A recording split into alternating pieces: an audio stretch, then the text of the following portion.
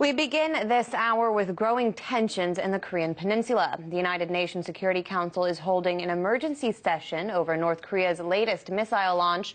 The emergency meeting comes at the request of Japan, the United States, and South Korea. U.S. Representative to the UN Nikki Haley called the escalation alarming. The United States is prepared to use the full range of our capabilities to defend ourselves and our allies. One of our capabilities lies with our considerable military forces. We will use them if we must. In the coming days, we will bring before the Security Council a resolution that raises the international response in a way that is proportionate to North Korea's new escalation.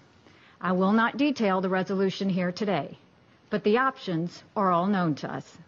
If we are unified, the international community can cut off the major sources of hard currency to the North Korean regime. We can restrict the flow of oil to their military and their weapons program. We can increase air and maritime restrictions. We can hold senior regime officials accountable. This morning, the U.S. and South Korea followed up on North Korea's missile tests with missile tests of its own. Pyongyang claims to have launched an intercontinental ballistic missile Tuesday, a 4th of July gift to the Trump administration. That's when South Korea's president, who was just in D.C. last week, proposed responding with a joint military drill. RT Simone Del Rosario is at the White House with the latest reactions from the president. Tensions between North Korea and the United States have reached a tipping point as North Korea tests an intercontinental ballistic missile that theoretically has the potential to reach the United States. Before President Donald Trump took office in January, he tweeted that this event would not happen. Now that it has, Trump tweeted this about North Korean leader Kim Jong un, saying, Does this guy have anything better to do with his life? Hard to believe that South Korea and Japan will put up with this much longer.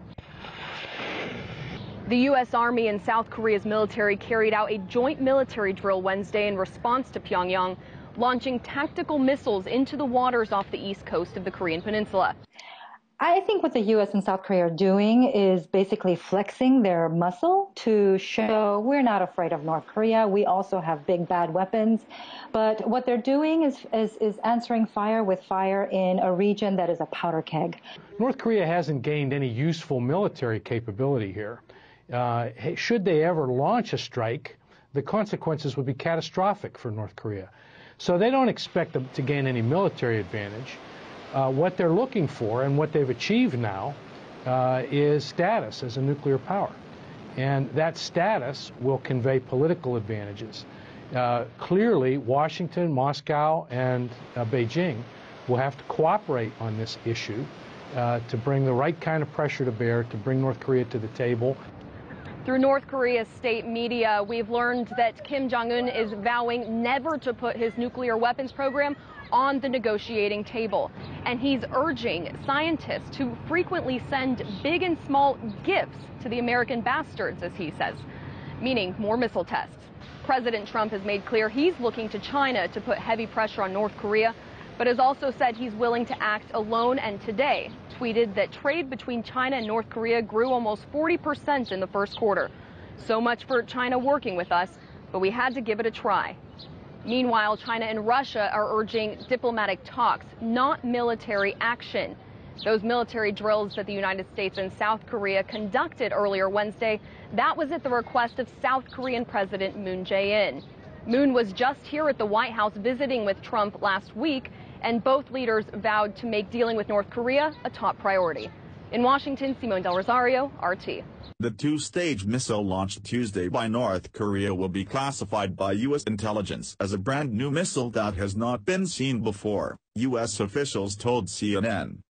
The first stage of the missile is believed to be an KN-17 liquid-fueled missile, which is well known to U.S. intelligence and has been previously launched by North Korea. Ahead of Tuesday's missile test, U.S. satellites had seen evidence the KN-17 missile was being prepared for launch, but at some point prior to launch, the North Koreans attached a second stage atop that missile. The focus now is on the capability of that second stage, and how it technically contributed to making Pyongyang's latest test its first ever intercontinental ballistic missile, ICBM, launch. A U.S. defense official said that the latest military assessment suggests the new North Korean missile has a theoretical range of about 5,500 kilometers, 3,400 miles. If the missile was shot at a more standard trajectory than Tuesday's test. A missile is classified as an ICBM if it can fly a minimum of 5,500 kilometers, which would mean that Pyongyang's missile is on the line between an intercontinental and intermediate-range ballistic missile, IRBM. At that range, a North Korean missile could potentially strike Alaska. At the same time, Pyongyang is still several key developments away from actually deploying an ICBM that could carry a nuclear weapon. CNN has reported that the second stage had a separate 30-second burn cycle, which allowed the missile to travel the extra distance to classify it as an ICBM. Another defense official says they are still assessing whether the re-entry of the missile was fully controlled. For a missile to successfully strike a target it would have to re-enter the Earth's atmosphere without breaking up. During a United Nations Security Council meeting Wednesday, U.S. Ambassador to the UN Nikki Haley called Pyongyang's ICBM missile test a clear and sharp military escalation. She said that U.S. military action remained on the table to stop North Korea from threatening the U.S. and its allies. The U.S. is prepared to use the full range of our capabilities to defend ourselves and our allies, Haley said. One of our capabilities lies with our considerable military forces. We will use them if we must, but we prefer not to have to go in that direction. We have other methods of addressing those who threaten us, and of addressing those who supply the threats. Haley called for an escalated diplomatic and economic response and said the U.S. would have a new UN resolution in the coming days. Haley said the U.S. will also look at any country that chooses to do business with this outlaw regime, and specifically called out China, noting that 90% of trade with North Korea comes from China. Much of the burden of enforcing UN sanctions rests with China, she said. We will work with China, but we will not repeat the inadequate approaches of the past that have brought us to this dark day. At the Pentagon, spokesman Navy Captain Jeff Davis, confirmed Wednesday that the missile was not one we've seen before. Davis told reporters the ICBM was detected and tracked for 37 minutes, the longest flight time for a North Korean missile. It was launched from Panghyon Aircraft Plant, about 100 kilometers, 62 miles, north of Pyongyang, the first time the North Koreans had used that site for a missile test, he said. Davis condemned the launch as escalatory and destabilizing, as well as dangerous. This missile flew through busy airspace used by commercial airliners, he said. It flew into space, it landed in Japan's exclusive economic zone in an area that is used by commercial and fishing vessels, all of this completely uncoordinated. On Monday evening, a U.S. Pacific Command statement initially described the missile as an intermediate range, but further intelligence assessments changed the classification.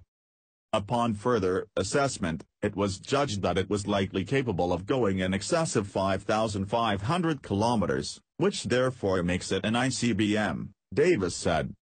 The imagery showing an KN-17 is in part what led the U.S. to initially believe it was a shorter-range missile. North Korea announced Tuesday it had successfully tested an ICBM for the first time, which Pyongyang claimed could reach anywhere in the world. North Korean state media said the missile reached an altitude of more than 2,800 kilometers, 1,741 miles, before it splashed down in the sea off the Korean peninsula 930 kilometers, 578 miles, from the launch site. The U.S. and South Korea announced they had conducted a joint exercise in response to the launch, a demonstration that South Korea said was intended as a strong warning against North Korean provocation.